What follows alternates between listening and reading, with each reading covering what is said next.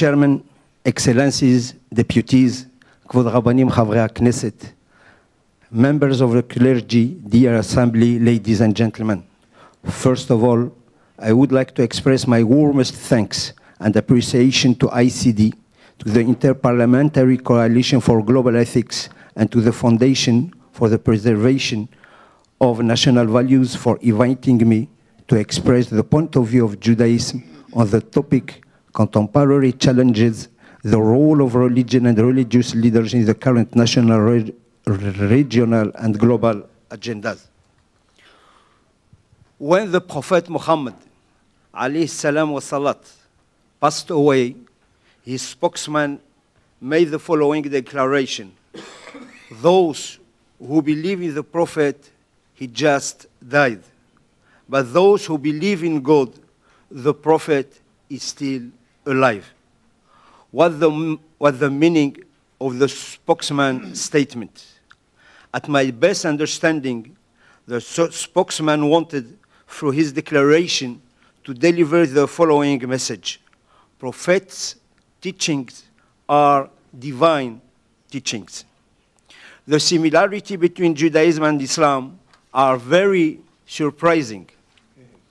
It's written in the Quran, those who believe in the Quran and those who follow the Jewish scriptures and the Christians and the Sabians, any who believe in God and the last day and, wor- and work while truthness shall have their reward with their Lord. On them shall be no fear, nor shall they grieve. One of our greatest scholars, Harambam Maimonides, stated Islam and Christianity are part of God's plan to spread the same ideals of Torah, the same ideals of Judaism throughout the world. We are thankful to them because, owing to them, this moves society closer to a perfected state of morality and toward a greater understanding of God. If we dig a little bit more, we will discover that things which unite us are more important than the things which divide us. According to, to, to the two holy books, Bible and Quran, God created man at his image and likeness. Why did God not start by creating two or three men? Did we ever stop to think about this question even once? What's the meaning of creating just one single man? Every man is a descendant from the same father. In spite of their physical and moral differences, whatever the color of their skin, the shape of their skull, the language they speak, the culture in which they are immersed, the religion they practice, or even the country where they live. This primordial connection links us all, which should bring us to universal brotherhood. The whole humanity was generated by one single man in order that nobody will be able to say, My father is noble than yours, and my blood is redder, redder than yours. Universal fraternity and equality are the first ideas which appear from the table from the tale of the creation of the world. To impose the superiority of one group of people over another, to establish a hierarchy amongst human beings, to create a discrimination based on ethnicity and origin is in contradiction to the Bible and to the Quran that give humanity a common father. And if we dig more, we will find that we share a belief that love, compassion, mercy, altruism, and the force of inner truthfulness and the spirit have greater power than hate, enmity, and self interest. We share also a sense of obligation to stand on the side of the poor and the oppressed as against the oppressors. We have also a profound hope that good will finally prevail. Whatever may be the differences and, and interpretations, all religions would agree that peace is an absolute necessity and religion plays a vital role in the peaceful development of the, of the individual, the family, the society, the nation, and the world. Religion has always been the key to maintain peace of mind and to provide spiritual solace in time of emergencies such as during various calamities or in time in invasion by aggressors or other disturbances. With a such common platform, the men of religion have to be convinced and to convince others that the world is our country, the mankind are our brethren, and to do good is our religion. It's the task of men of faith to convince that God loves peace and hates wars. Yes, peace, shalom, salam, is the real name of God. His name can never be a synonymous of war and hatred.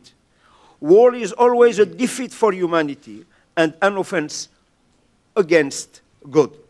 No conflict, no hatred can't resist prayers, forgiveness, and love.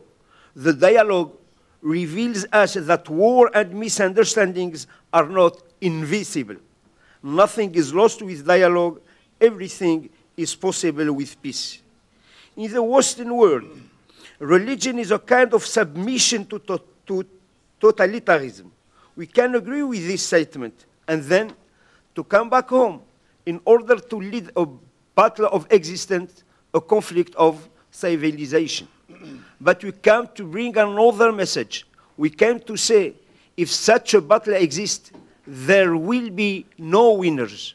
The most urgent thing to do is not to misuse religion as in the past, to not use religion as justification of pain and suffering, to kill or to cause suffering on behalf of God constitutes, constitutes a desecration of the name of God.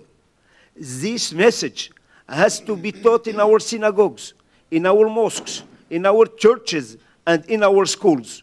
We have to work with our children, with our communities on the basis of this text. This message has to be introduced everywhere. Today, this message becomes the real challenge of religion. Is the challenge of humanity. Can I accept someone else's image of God? If I can't, then I am creating God in my own image. To make peace or to sign a peace agreement means that I recognize that my opponent is created in God's image. I recognize his humanity. Religion is at the heart of human identity, and its voice has to be heard everywhere. We have to give the whole power to those who are fighting against the totalitarian forces and to those who are giving hope to the future of humanity. We need to be active to put an end to the manipulation of holiness which wants to create massacres and bloodshed. The political forces need spiritual support to preserve the holiness of life. They have to accomplish their own task, and we, as men of faith, our task.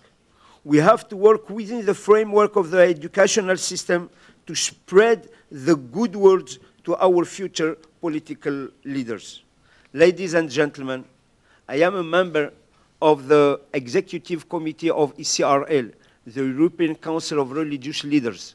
On Tuesday and Wednesday, we had our annual meeting in Vienna, Austria.